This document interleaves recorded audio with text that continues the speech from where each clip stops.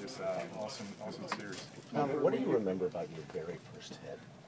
Very first hit, first hit uh, just basically off the middle of the changeup of Mike Hampton, Albert, when you, were, when you were a kid, were these goals of yours, or was the goal simply to win and win, go to the World Series and the numbers that you pile up, you see the numbers you piled up? If I tell you yes, that's a lie. You know, my goal was just try to get an opportunity to, to become a professional athlete. Uh, and, uh, you know, I thank God for uh, giving me the ability and the talent to do that.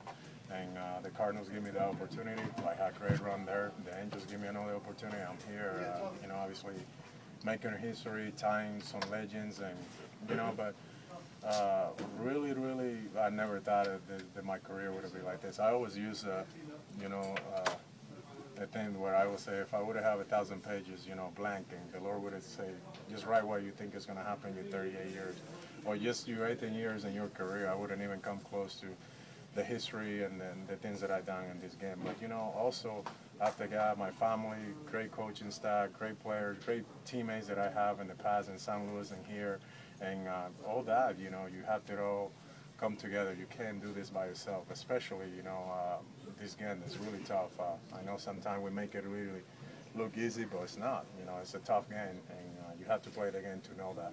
But I had great people around me, uh, great, you know, uh, owners, uh, great front office staff, GMs, you know, and coaching. You know, all those guys deserve all the credits Two great managers, too.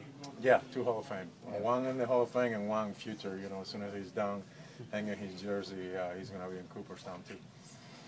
Albert, algo muy interesante que dijo Sosha acerca de ese momento, que eh, con todo lo que estaba sucediendo con los 3000 que ya viene, pero que en ese momento estabas pensando en ayudar a tu compañero Upton a poder moverse.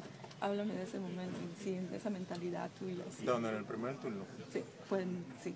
Bueno, tú sabes, eso es parte de- del juego mío. Eh, trato de no regalar outs, ha regalado más outs que los que ha dado, pero eh, de verdad en esa oportunidad eh, tú tienes que jugar para el equipo, así que yo he jugado siempre.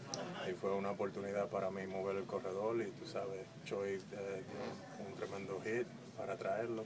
Pero estaba pensando tratar de quedarme dentro de la bola y hacer un buen contacto, que si iba a dar un hit iba a ser para el otro lado para el medio, donde yo podía mover el corredor. Y eso de verdad lo que yo me concentré en ese turno. Y ese de verdad ese turno fue que arregló todo, todos los otros turnos, porque me sentía bien cómodo.